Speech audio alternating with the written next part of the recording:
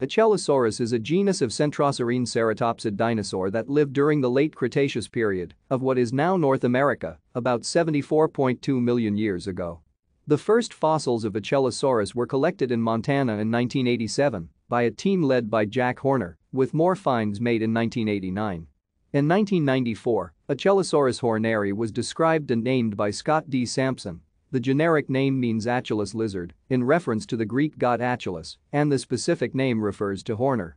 The genus is known from a few specimens consisting mainly of skull material from individuals, ranging from juveniles to adults.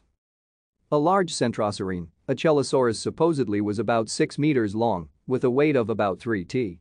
As a ceratopsian, it walked on all fours, had a short tail and a large head with a hooked beak.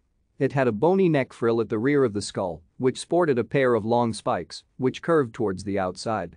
Adult Achelousaurus had rough bosses above the eyes and on the snout, where other centrosaurines often had horns in the same positions. Thank you for watching. Like and subscribe if you would like to view more of our videos. Have a nice day.